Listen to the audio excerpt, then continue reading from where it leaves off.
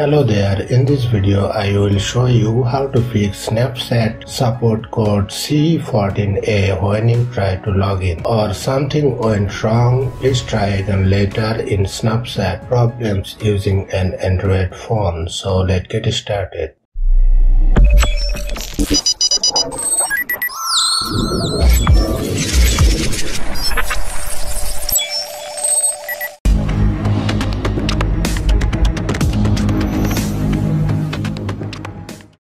First of all, go to the settings of your phone.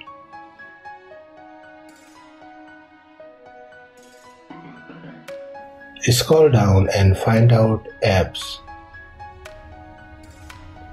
Tap on it.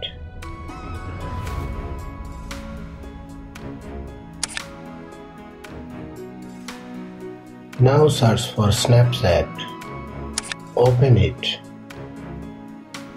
Tap Force Stop, tap OK. Tap Storage, tap Clear Cache, tap Clear Data, tap on Delete. After that, move back to the home screen and restart your phone.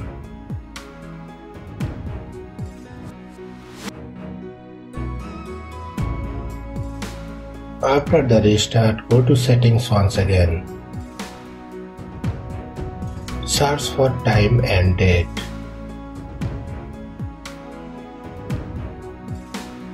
Open it. Tap on time and date.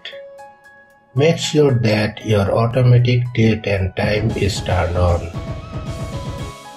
Now move back to the home screen and open your Snapchat app.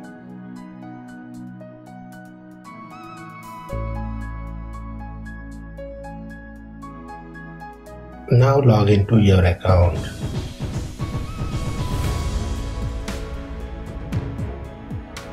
I hope your problem will be fixed.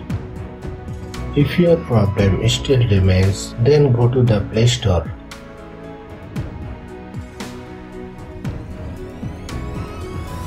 Search for Snapchat. If you found any available update for your Snapchat application, then update the application from here. After that, log into your account.